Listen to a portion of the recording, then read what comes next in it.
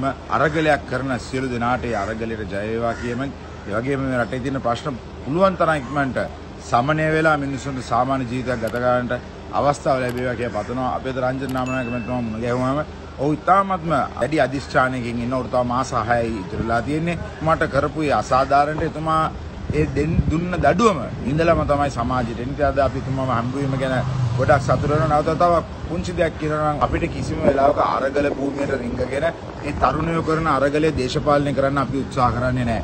අපේ අපි අපි දේශපාලන අරගලකාරයෝ. අරගලයක් කියන්නේ දේශපාලන වශයෙන් අපි අරගල මෙන්ටෙන් වල කරලා දෙනවා. අපි ඉස්සල්ලාම ඔය ජනාධිපති ලේකම් කාර්යාලය ගාවට ගිහිල්ලා ගෝ හෝම් ගෝට කියන එක අපි කියලා.